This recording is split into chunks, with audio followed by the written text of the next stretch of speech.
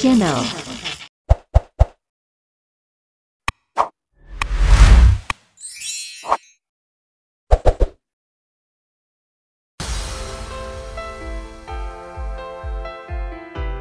Timnas Indonesia U23 menjalani pertandingan uji coba pertama mereka di Korea Selatan. Pasukan Shin Tae-yong itu melakukan pertandingan uji coba melawan Andong Science College. Uji coba digelar di Hayamaji Football Field, Yongdeok-gun, Korea Selatan, Kamis, tanggal 21 April tahun 2022. Sejak pertandingan dimulai, Timnas Indonesia U23 sudah menunjukkan permainan yang cukup menjanjikan. Garuda Muda pun mampu membuat Andong Science College itu sangat kesulitan untuk bisa mengembangkan permainan. Pada menit ketujuh Irfan Jaya memecahkan kebuntuan, dan membuat Timnas Indonesia U23 unggul 1-0. Belum puas dengan satu gol, Garuda Muda Indonesia pun terus melakukan serangan, dan hasilnya M. Ridwan mampu menambah keunggulan Garuda Muda pada menit ke-21.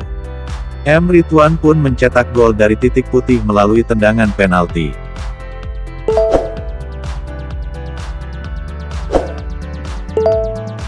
Setelah tertinggal 0-2, Andong Science College berusaha melakukan perubahan, dan hasilnya pun mereka berhasil memperkecil ketertinggalan pada menit ke-33 menjadi 1-2. Hingga berakhirnya babak pertama, tidak ada gol tambahan lagi yang tercipta.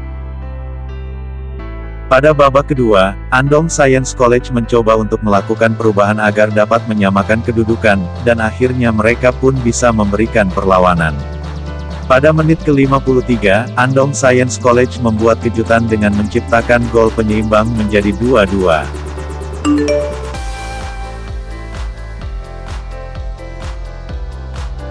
Setelahnya, Timnas Indonesia U23 pun berusaha lagi untuk kembali bisa bangkit, supaya bisa menambah gol lagi di babak kedua.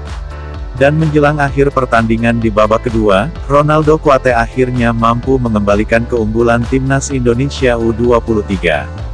Dia menggocek kiper Andong Science College pada menit ke-88, dan membuat kedudukan berubah menjadi 3-2.